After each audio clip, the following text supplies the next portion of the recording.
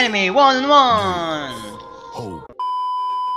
Here you can only see anime updates of your favorite and amazing anime that you wanted to see.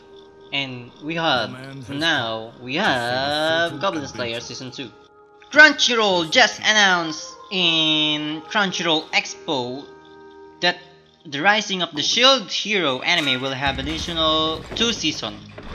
Well, it means there's one more season that will be added in this anime, meaning there will be a season 3. The company did not announce a debut date of the new season, the season 2, and reveal a new visual of this anime, which is I will show in the end of this trailer later, okay?